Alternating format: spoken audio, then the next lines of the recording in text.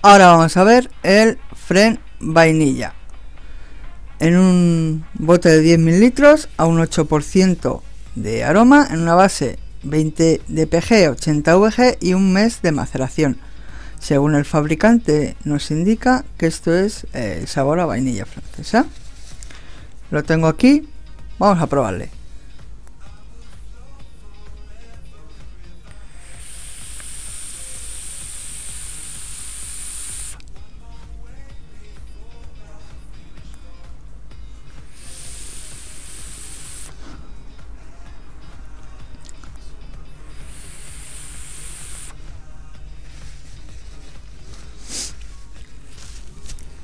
Os voy a decir una diferencia que encuentro de este Fren vainilla al Fren vainilla de Capela.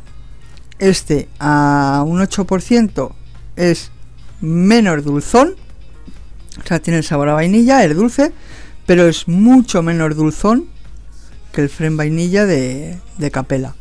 Es un aroma que está buenísimo, y que tendréis que tener en, vuestra cajita de alquimia. Y es un aroma que, pues eso, que, que pega con cualquier tipo de aroma, o sea, ya sea frutales, ya sea de pastelería, bebidas, mm, con frutos secos. Es un aroma que está muy bueno y lo, lo dicho, lo, yo os lo aconsejo porque está mm, riquísimo.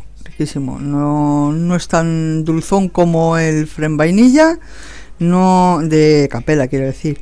No es tan potente como el Fren vainilla de capela. Eh, tienes el, sabor a, vainilla, pero no es, eh, no es un sabor que, digas que está muy fuerte a un 8% de aroma en, en, capela y a un 8% de aroma en, TPA, la diferencia es muchísimo. El de Capela sabe muchísimo más, ¿vale? Porque es mucho más concentrado. Y el de TPA es lo que he dicho antes, bastante menos dulzor. Tienes el sabor a vainilla y eh, está muy bueno.